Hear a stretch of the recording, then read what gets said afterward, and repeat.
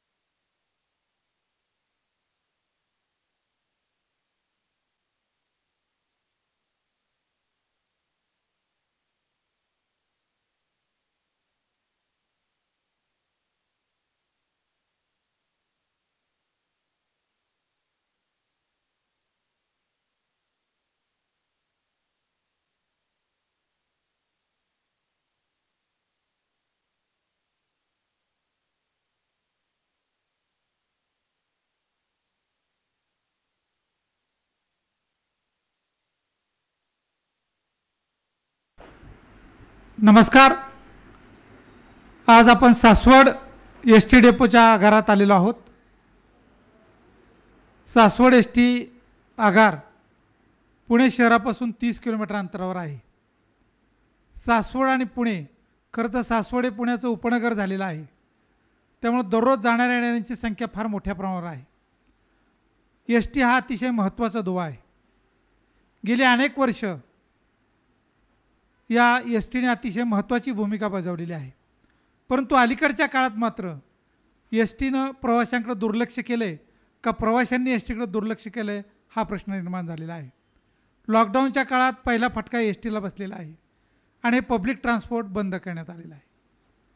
आता ही public transport S टीची सेवा कधी चालू होणार आहे? कशा प्रकारे चालू होणार आहे? कोरोनाबाबत एस टी महामंडळाने काय काळजी घेतलेली आहे? स्टाफची काय काळजी घेतली? प्रवाशांची काय काळजी घेतली? या सासवड डेपोच्या आगार व्यवस्थापक यांच्याशी आपण संवाद साधणार आहोत. नमस्कार. आपलं काय नाव मॅडम? नमस्ते. मी मनीषा गायकवाड आगार व्यवस्थापक सासवड. आपण कधीपासून काम करतो ऑगस्ट दोन हजार अठरापासून आता सासवडचा डेपो कधी चालू होणार? वाहतुकीसाठी? येत्या सोमवारी पंधरा जूनपासून आम्ही ग्रामीण भागातली जिल्हा अंतर्गत वाहतूक चालू करत आहोत. तालुका अंतर्गत.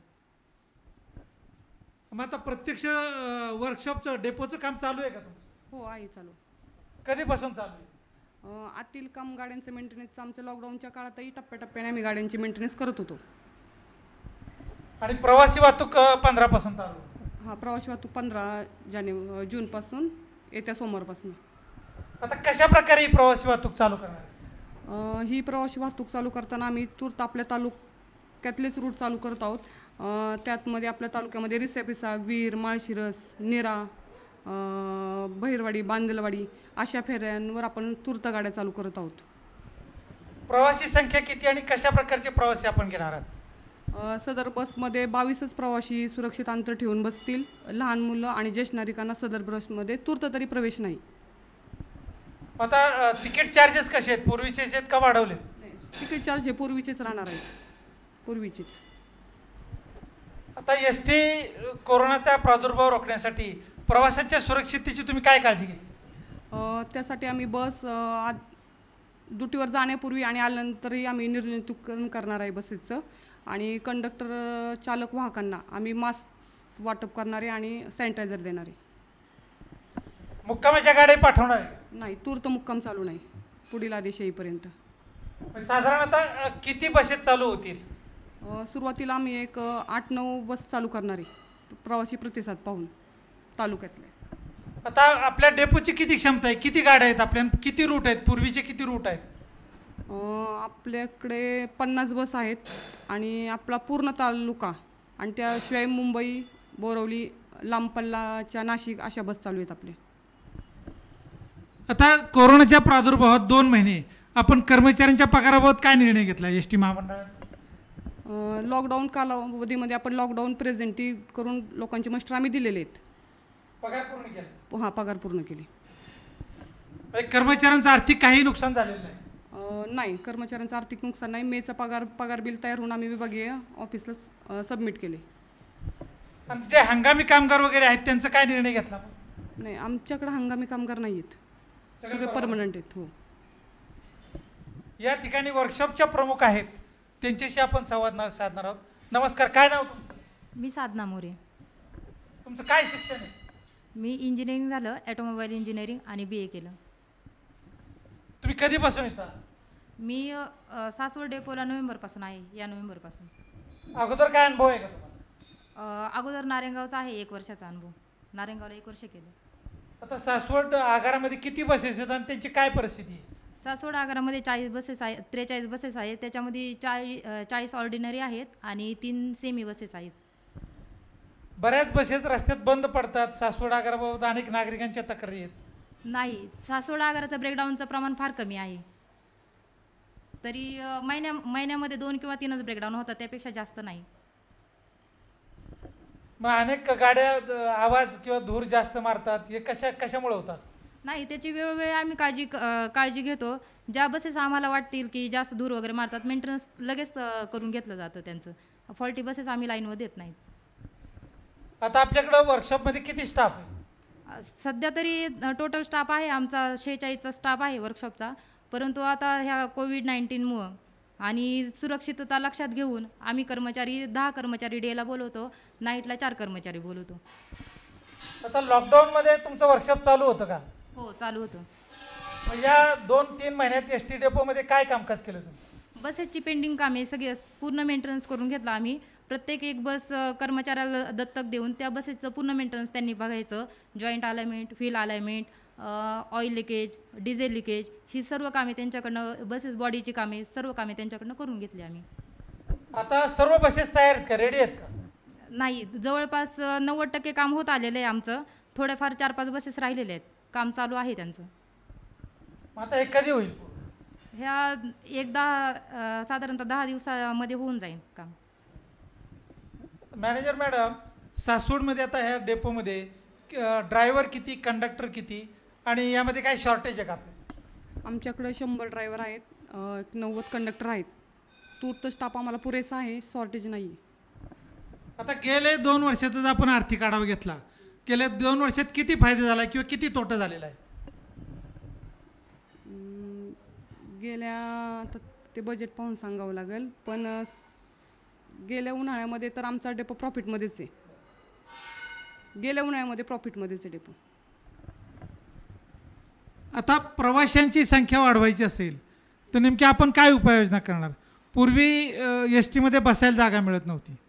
सासवड पुणे प्रवाशा हा प्रवास करण्यासाठी संपूर्ण लोक एस टीवर अवलंबून होती. आता मात्र तसं चित्र दिसत नाही. आणि टाईम टेबलमध्ये मात्र सुद्धा बऱ्याच वेळेस वेळेवर गाड्या सुटत नाहीत. याबाबत आपण काय उपाययोजना करणार? आता ह्या कोविड नाईन्टीनच्या पूर्वी आपल्या गाड्या ब पुण्याच्या वेळेवर तर सुटतातच. आणि आता हे आता सध्या आपल्या गाड्या पुण्याला जाणार नाहीत पण इथून पुढे जर रेग्युलर ऑपरेशन केलं तर आम्ही टायमिंगला बस सोडू पुण्याच्या. नमस्कार आपलं काय नाव? सचिन सकाराम लोहकरे. लोकरे साहेब ट्रॅफिकचं तुम्ही नियोजन करता. ड्रायव्हर कंडक्टरचं कशा प्रकारे आता शेड्यूल करणार? तुम्ही सुरुवात कशी करणार? आता सुरुवातीला आपण जेवढे शेड्यूल आहेत ऑपरेट करणारे समजा नऊ शेड्यूल ऑपरेट करणारे मग नऊ ड्रायव्हर आणि नऊ कंडक्टर ऑपरेट करणार. आपल्याकडे उपलब्ध ड्रायव्हर किती कंडक्टर किती आहे? शंभर ड्रायव्हर आणि एकोणनव्वद कंडक्टर मग यामध्ये पहिले कुणाला स- प्राधान्य देणार? आपण सगळे आपल्याकडे परमनंट आहेत. त्यामुळे ॲलोकेशनला जशी दुटी असेल तसं आपण सगळ्यांना दुट्या लावणार. रोटेशन अलोकेशन तयार करताना सुरुवात कशी करणार असं म्हणतो सुरुवात ॲलोकेशन आपलं रेडीच असते. त्याच्यानुसारच आपण त्यांना रोटेशनने फिरवणार. अलोकेशनमध्ये बऱ्याच वेळेस फेरफार केला जातो. अशा तक्रारी तुमच्या स्टाफच्या येतात. नाही फेरफार नाही. माझ्या तरी भागात आत्तापर्यंत नाही आहेत तुम्ही किती वर्ष आहात? मी डिसेंबरपासून आलो डिसेंबर दोन हजार एकोणीस. जर गाड्या वेळेवर सुटल्या आणि प्रवासी जर चांगले मिळाले तर एस टी सेवा ही सगळ्यात चांगली आणि सुरक्षित सेवा आहे मग याबाबत तुम्ही काय प्रयत्न करणार आहात? त्यासाठी आपण चालकांना वाहकांना व- वेळेत थांबण्यासाठी प्रवासी घेण्यासाठी चढ उतार करण्यासाठी आपण त्यांना प्रोत्साहन करतो न- आवेदन देतो त्यांना एवढंच. मॅडम आता दर महिन्याला आपण पगारावर या डेपोचा पगारावरचा खर्च किती आहे पन्नास लाख पन्नास लाख. पन्नास लाखाच्या आसपास आणि उत्पन्न किती आहे अं, उत्पन्न आमचं सत्तर ऐंशी लाखापर्यंत जातं उत्पन्न. म्हणजे अशा प्रकारे ताळमेळ तिथं बसला जातोय.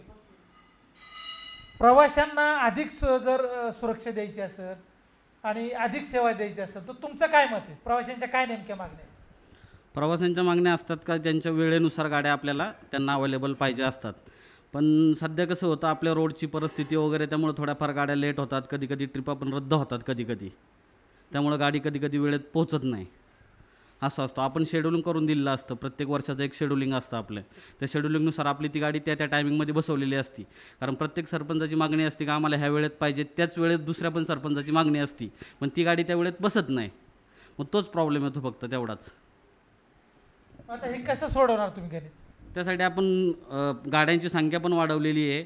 आणि थोडंफार मागं पुढं करून त्यांना ॲडजस्ट करून थोडंसं घेतलेलं आहे त्यांच्याकडून आपण. त्यानुसार त्यांची पण आता गैरसोय ज- बंद झालेली आहे. आता महाविद्यालयीन विद्यार्थ्यांचे कॉलेजेस सुरू होणार आहेत. त्याबाबत काय उपाययोजना केल्यात आपण? महाविद्यालयात त्यासाठी आपण पास सेक्शन वगैरे रेडी करून ठेवलेलं आहे. सर्वांना पास वगैरे वेळेत भेटतील याची आपण पूर्ण तयारी करून ठेवलेली आहे. वेळेत गाड्या जातील आपल्या सगळ्या व्यवस्थित सुटतील याची पण आपण सगळी तयारी करून ठेवलेली आहे. आता नागरिकांना प्रवाशांनी तुम तुम्हाला काय सहकार्य तुमचं काय अपेक्षा आहे नागरिकांकडून? नाही प्रवाशांकडून फक्त प्रवाशांनी फक्त प्रायव्हेट गाडीचा म्हणतो ना आपण ते प्रायव्हेट गाड्यांचा वा काय म्हणतो त्याला? अवैध वाहतुकीचा कमी प्रमाणात उपयोग करून एस टी त्याची गरज आहे?